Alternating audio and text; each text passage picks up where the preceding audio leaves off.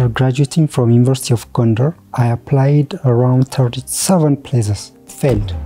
How a psychologist was able to really tap into your creative side. When I was a kid, when we are in class, I love painting the teacher. Teaching is not about financial issue, it's our passion. I have a plan to develop a theory of African psychology. Students become what they see, what they observe. Bobo doll experiment, just a shocking experiment. Keep hustling, keep fighting. Do not forget your aim. You gotta have to do what you love to do.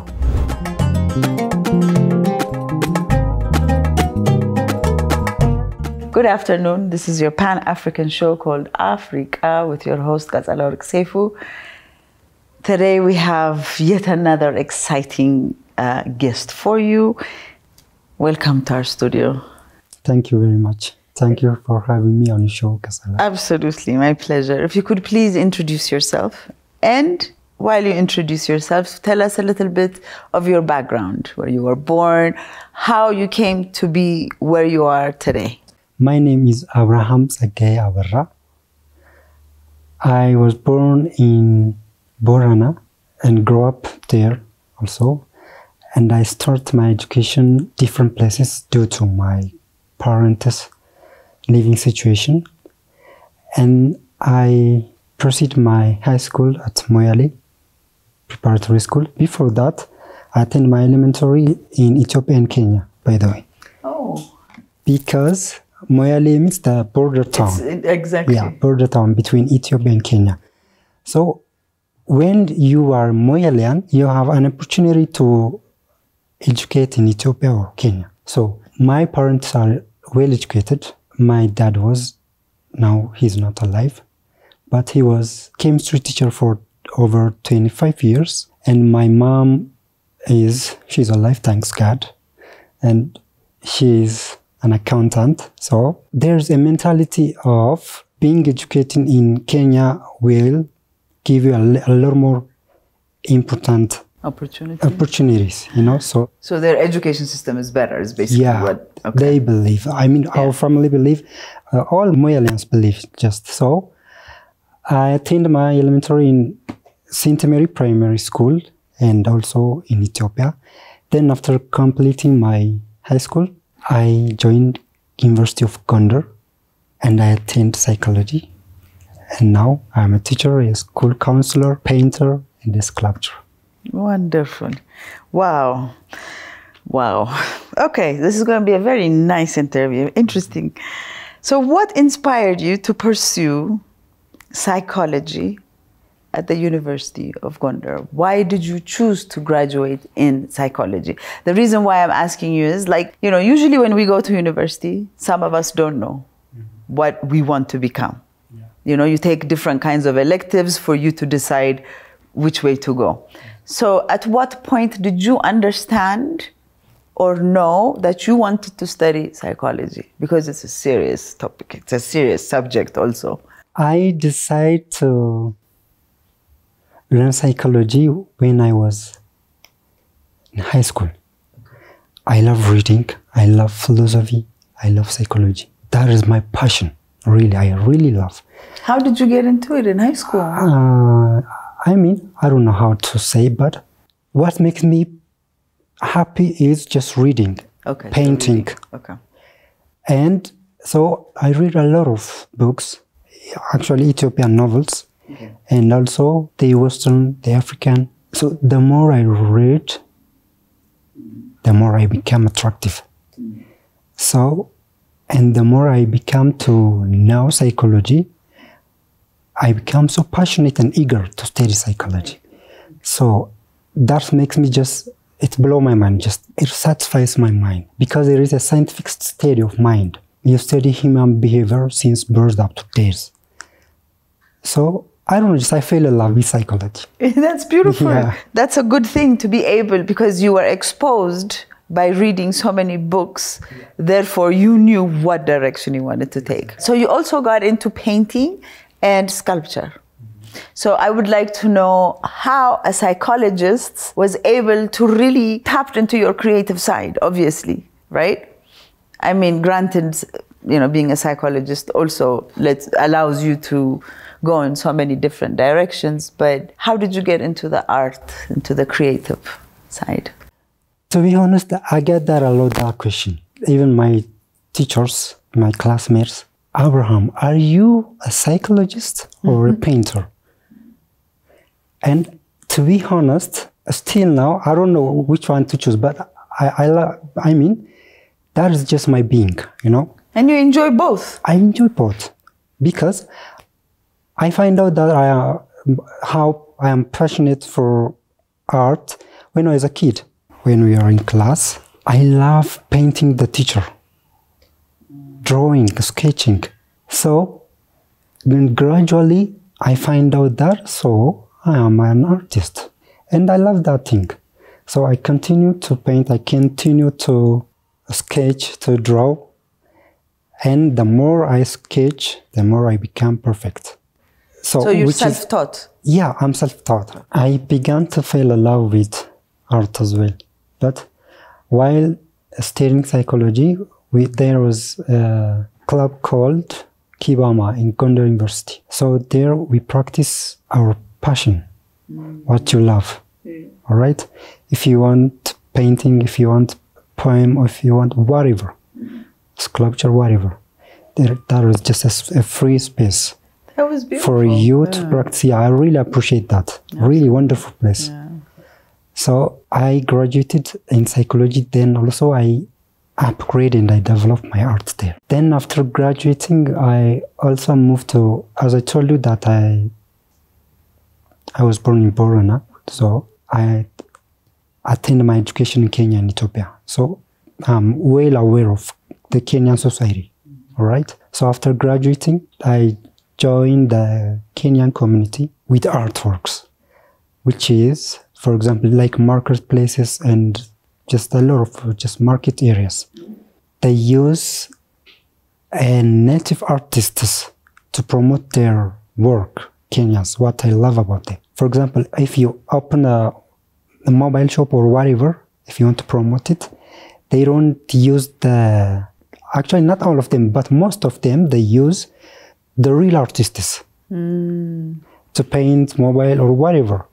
Their store. Yeah, on, the, on their store. Ah. So what I love about them, really. It makes them stand out. That's a, that's a brilliant idea you're giving our people. Yeah. that is a that, beautiful that is idea. just a wonderful. Yeah. I really love about that. I mean, it's really not just the small shops, but also the big businesses whatever also just should yeah incorporate most of them most of them they prefer to advert with the real artists Yeah, so that is what i love about kenyans brilliant. So, how do you incorporate your passion for painting and sculpting into your role as a fine art teacher?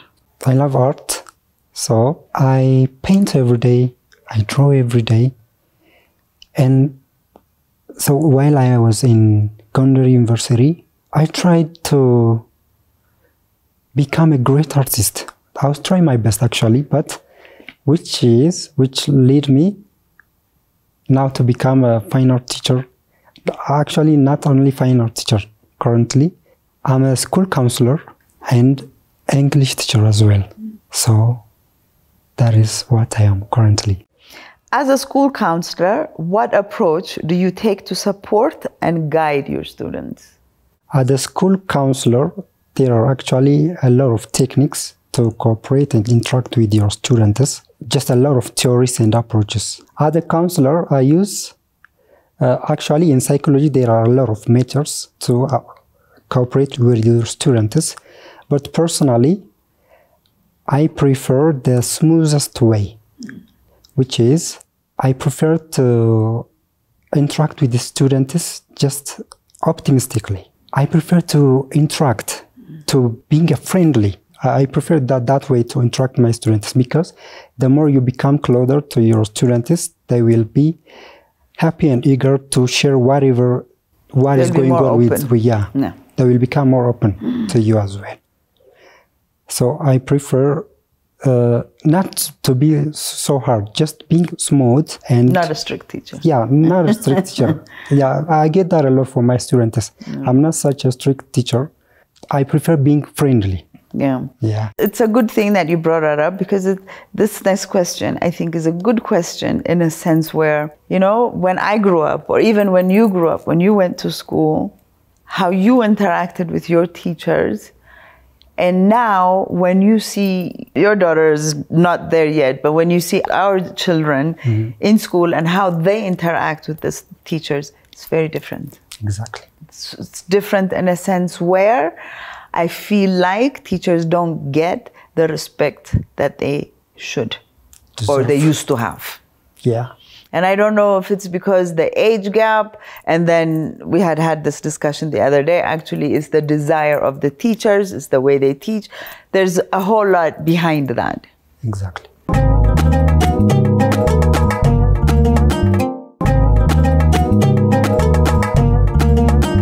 How do you balance your roles as a fine art teacher, English teacher, and a school counselor? Because being a teacher in itself and a parent is hard. Exactly. exactly. But to be precise, I love my job. I love being a teacher. I love being a school counselor. I love being an artist. So that is what I am passionate about. That is what makes me happy. So I didn't get anything challenging to balance those things because all of them, everybody do what they love to do, right? So these things are what I love to do. None of them fight. They smoothly, all Yeah, three none of go them fight well for each you. other. Yeah, Brilliant. exactly. So you balance them very well. Exactly.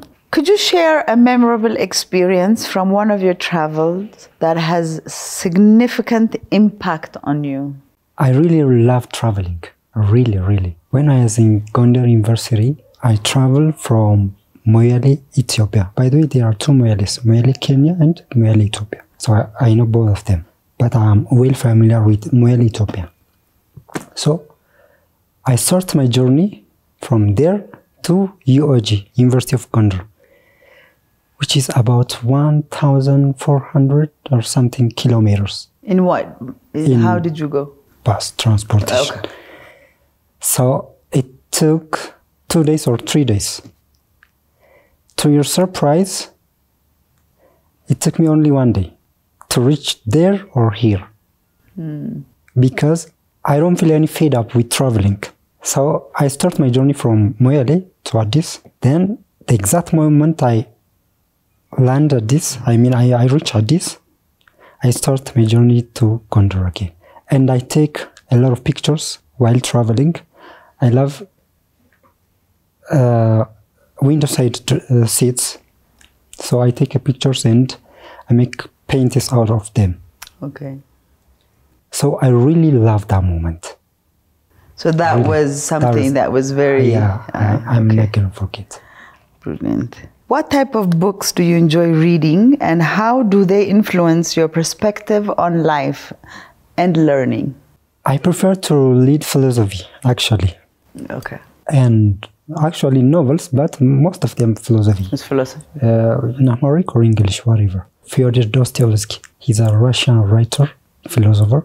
Really, really, he's a mind-blowing guy. And his well-known book is Notes from the Underground. Okay. There's also the Amharic version. Okay. You can read it if you get it. የሰርቻው መጣጠፍ. And he influenced me just really. He's a brilliant guy. By the way, uh, Nietzsche also inspired by Fyodor Dostoevsky. Nietzsche is also a philosopher, just a brilliant guy. So I prefer reading philosophies. Philosophical Yeah. books. Okay. How do you use movies and music as tools for personal growth and inspiration? I really love enjoying music and watching movies. Also, the other guy who inspired me the most, just a brilliant guy, Denzel Washington. Just a brilliant guy. Whenever I see his movie or I watch his movie, I become to think over my being. How did this guy really become this genius? I began to think over it, the way he act and his motivational speeches. They are just mind blowing. His confidence. He was just my role model, really. And I watched almost most of his movies and eh, the speeches. As you know, he's very strong Christian. He's a wonderful guy. So I use movies and music as a tool. Uh, I love psychological thriller movies and I love uh, hip hop and country musics. As a proud young African, what do you have to accomplish in your lifetime in terms of cultural representation and global exploration? As a young African, I have a plan to develop a theory of African psychology because most of psychology theories are from Western, which I don't totally disagree with, but I agree We should with. have our own. Yeah, but we should have our own because the living standard, the lifestyle, and everything is different from the Western society. We Africans have a lot of unique lifestyle, which is different from the Western. And let me mention you one guy who's called Albert Sidney Beckham, the first African American school psychologist. He is just genius guy. So he uh, actually not only him. Now currently there are some Africans who are trying to develop an African psychology association, or of course there is African psychology Yeah, association. there, there, there, there, there is. There is. But we should have to work on that critically.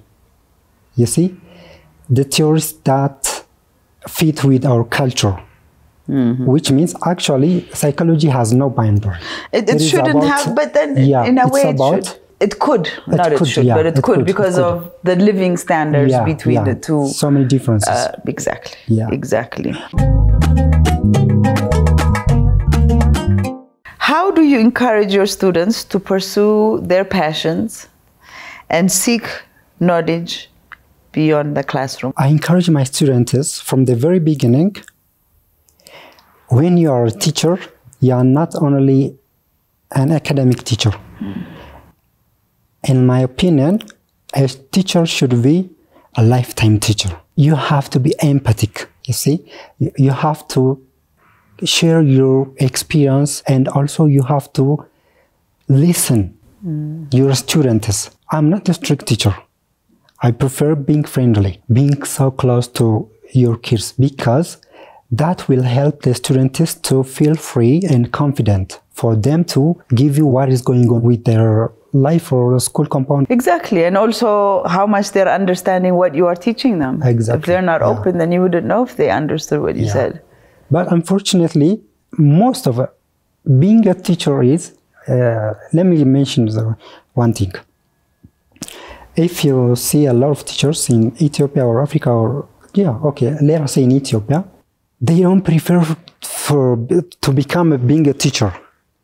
You see, it is just challenging because if you graduate from university in Ethiopia, you have to be able of supporting yourself and even your families. Mm-hmm. So, in any condition, you have to be get employed. It is not about your passion, okay? It is about surviving. You have to get paid. So, a lot of teachers are, uh, most of them maybe. I, I prefer being a teacher. It's not prefer. You love being a teacher. I, I love, I love and I prefer. First, I love. I love being a teacher. So I'm doing what I love. Yeah. But if you came to um, financial issue, it is a, a bit challenging. It's obvious. So- but teaching is not about financial issue. yeah. So it's about passion. It's about passion. Yeah. It's not about salary. Mm, yeah. So what the that is the reason why the most of teachers become angry. Because they're not in it for passion. Exactly. They are not passionate. They're doing it as a job. As a it's a job. job for them. just to get paid. yeah. So that's that's the difference. Yeah, that's the difference. Okay. If you could tell us what is the characteristics of a good teacher in your eyes, since you're a teacher, you would. exactly. Okay. As a parent, I could also say something. So, uh, actually, there are a lot of uh, theories and uh, a lot of uh, good teacher characteristics, but uh, let me mention just uh, some of them. The first one is adaptability, which is a good teacher is adapt, uh, adaptable and he can engage with students easily. The second one is patience. A good teacher is not judgmental. The first thing that is observed from him is just patience, tolerance, and forgiveness. The third one, entertaining. A good teacher make the classroom an entertaining place. He knows how entertaining. Yeah. Like to- basically to, catch- capture them. Yeah, Exactly. How to, hold. catch a student's attention. Yes. Yes. And the fourth one is listener, being active and good listener. The fifth one, empathy. Ah. Empathy means understanding a student's feeling. Because you know why this is so important? There is a- an experiment called the Bobo doll experiment. It is an experiment by Albert Bandura. It was really shocking, just a shocking experiment. Albert Bandura collected 36 students from kindergarten, from age three up to six or seven. And he's a social psychologist and social learning experiment. Students become what they see, what they observe. Kids become. And the Bobo doll experiment was Bobo is, uh, by the way, it's a doll, it's a toy. And he collect those students and let them watch some uh, character hitting and beating that doll. He let them watch. And after that, he gave them the that doll. Immediately, those students began to Beat it. beat it. Mm. So that is, kids become what they observe. Mm. So we gotta have to be critical and empathetic to understand their feelings. We have to be careful what we are doing around them. You see? And the sixth one is lifelong learning. A teacher is not only an academic teacher or a math or science teacher. He shares his experiences or he or her experience. The ninth one is good classroom control. And the tenth one, ethical attitude and discipline, which is the very important thing. Why is it on number 10? I was just It's, kidding. it should have to be on number one. It should be number one. Yes. Yes. to your surprise, there is a, okay, let me give you one concept. There is what we call it uh, intellectual arrogance. It is creepy behavior, by the way. Intellectual arrogance means you are literate, and on the flip side, you are arrogant. oh boy. Being unable to respect others. Being a concept of not questioned and not challenged. They So why is it called intellectual? Because they are intellect, which is, by the way, But if they're illiterate, they're not intellectual. Uh, yeah, actually, it is okay. Good question you, you raise. Intellectual arrogance is uh, that guy may be uh, literate. So being literate is not good enough for you. You have to be disciplined as well. What we call it literature discipline. You have to be dis- well disciplined.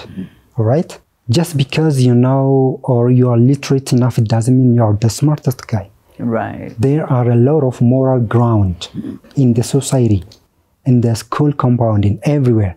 And you have to respect that. Uh, being uh, literate don't have to drive you to be disrespectful for others. All right. Unfortunately, we are most of teachers are really good at being arrogant. Unfortunately. Mm. And they don't listen. They don't leave an opportunity for to the students. Oh.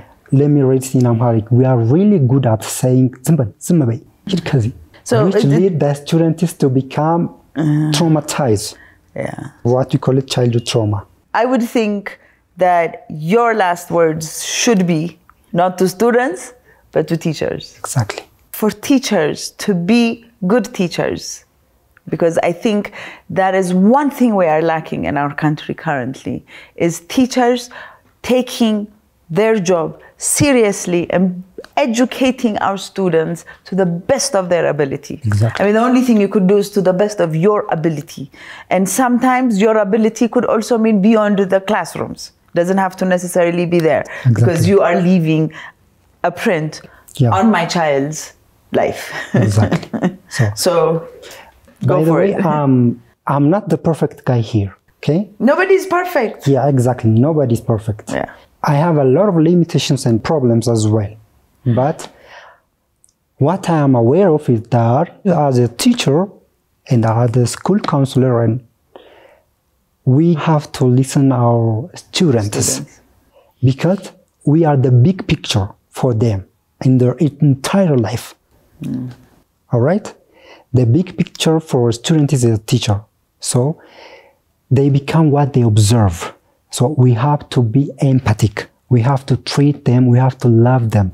All right. Of course, uh, we Ethiopians, uh, we love everybody. Uh, of course, we are well known for being lovable. All right. Mm. But uh, specifically as a teacher, It's teacher, teacher, student relationship. yeah, teachers and uh, student relationship, we have there is a, a boundary.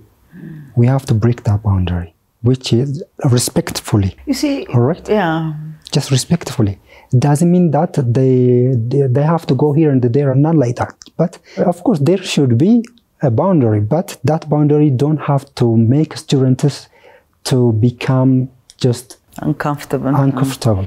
All right. or you won't be unapproachable as Exactly. teachers. So Yeah. they have to develop a sense of positive mind. All I'm saying is that we have to be respectful for our childrens. We have to be empathic. We have to let them speak. We have to dig the reason behind their mistakes. Hmm. There's a lot of punishment skills. I don't totally agree with physical punishment, by the way. So there are a lot of smart punishment skills. Hmm. There's a lot of different ways. Yeah, they don't have to be punished physically all the time. Hmm. By the way, it is difficult. It is very dangerous. There is what you call it hysteria, which a psychological illness become and a physical illness. That is very, very creepy thing. Mm, you see? dangerous. So we have to treat our students, give love, and be empathic. Beautiful. What advice would you give to other young Africans who aspire to explore the world and pursue their dreams? I'm not qualified enough, enough to advise Well, we're never, we never uh, are, but you've me- gone a certain, Yeah, absolutely. a certain, uh, you know, you, you're advanced Yeah, exactly. for some of the people that would be watching the show. Exactly. You know, and I always don't like using that word advice because who are we to advise anybody? exactly. Uh, so it's just an opinion. Sharing you know. an You're experience. sharing what you went through, Exactly. and whoever finds it useful will use it, and who don't. Yeah, never give up. While I'll never give up, I didn't say just out of blue. Let me tell you one story. After graduating from University of Gondar, I applied around 37 places For a job for a job as a psychologist. as a psychologist, uh, whatever. At this point, it was you. any job. Yeah, any job. Ah. you you gotta have to be survive. Unfortunately, See? yeah. Unfortunately, it failed. 37 of them. Wow. And you know, I began to think that, so I failed, right? To your surprise, um, extreme self-confident guy. I tell myself that. Those 37 companies lost around. It, it wasn't your loss. exactly. Yeah, it wasn't my loss. They lost me. Yeah. So, of course, never give up. Every day brings a new opportunity. You see? Every day. Keep fighting. Do not forget your aim. You gonna have to do what you love to do. That is what uh, all I'm saying. I'm glad you said that because usually everybody says that don't ever give up. Yeah. It's not an advice, but you've gone through and to reach to the level that you've gotten, you had to go through a lot of struggles. You had to make a right, a left, go forward. You know, you had to do a lot of zigzags. Yeah. But you made it because you were somebody that followed Yeah. what he wanted to do. Exactly. So it's obvious uh, being employed in Ethiopia is just once in a blue moon, just very rare. But you gotta have to use that one percent. That one percent will bring you a lot of thousands of opportunities. Yeah. You gotta have to go through it. You don't have to seek for comfort zone. There are a lot of ups and downs. So And those are what make you into the yourself, human that we yeah, become, right? That, that will what make you Yeah. a very strong person. Absolutely. Yeah. Absolutely. Well, Abreham, I thank you very much for taking this chance, this opportunity, this moment, because I know you're very busy and you came from very far away. But we want to say thank you for coming to our studio and giving us this opportunity to talk to you, Thank you. for coming over well. and giving us this opportunity. This is your Pan African show called Afreeqa with your host Kazalork Seifu. Thank you again for tuning in.